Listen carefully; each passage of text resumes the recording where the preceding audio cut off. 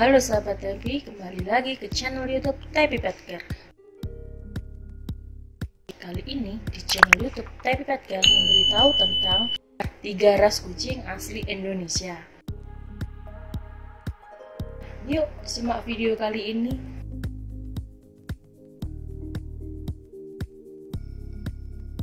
Jangan lupa subscribe, klik tombol lonceng agar dapat notifikasi setiap kami upload video baru. Stay tune. 1. Kucing congkok atau leopard cat. Kucing congkok atau leopard cat merupakan spesies kucing liar. Di Indonesia, kucing ini terdaftar pada jenis hewan yang dilindungi akibat populasinya yang semakin langka. Secara fisik, kucing congkok berukuran sama seperti kucing domestik, memiliki corak total hitam di bagian punggung dan pinggul. Tekstur bulu halus dan pendek, ekornya lebih panjang sekitar setengah badannya. Hidung besar dan lebar, serta kulit hidung berwarna merah dengan garis luar hitam. 2. Kucing bakau atau fishing cat. Jenis kucing liar ini penyebarannya meliputi Asia Selatan dan Tenggara.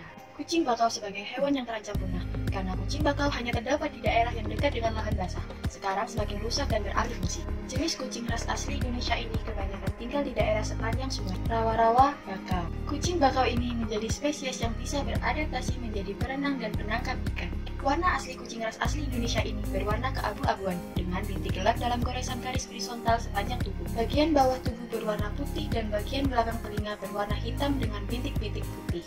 Kucing bakau dewasa berukuran sekitar dua kali lebih besar dari kucing domestik. 3.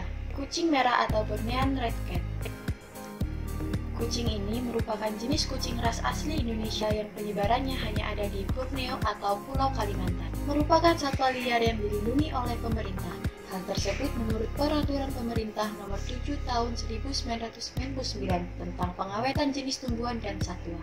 Kucing asli dari wilayah Pulau Kalimantan ini mempunyai corak bulu berwarna kemerahan. Ukuran dewasanya sekitar 50 hingga 60 cm dengan panjang ekor sekitar 30 sampai 40 cm. Berat tubuhnya sekitar 3 sampai 3,5 kg. Habitatnya tersebar mulai daerah hutan rawa, gambut, dataran rendah hingga daerah perbukitan setinggi 500 meter di atas permukaan laut. Borneo Red Cat juga terdeteksi menyebar hingga wilayah Malaysia. Saat ini statusnya menjadi genting. Atau dapat dikatakan bahwa jenis kucing ras asli Indonesia ini berstatus dua langkah menuju kepunahan di alam liar. Jenis kucing ras asli Indonesia yang satu ini yang juga sering dijuluki sebagai kucing batu Kalimantan. Itu tadi tiga ras kucing asli Indonesia. Jangan lupa ya like, comment, dan subscribe channel YouTube dari Podcast.